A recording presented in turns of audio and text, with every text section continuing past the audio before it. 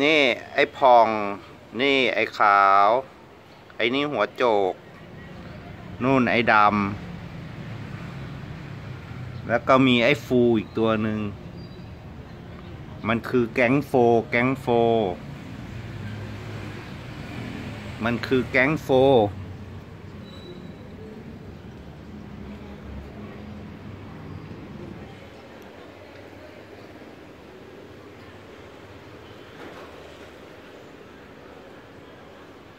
ดาม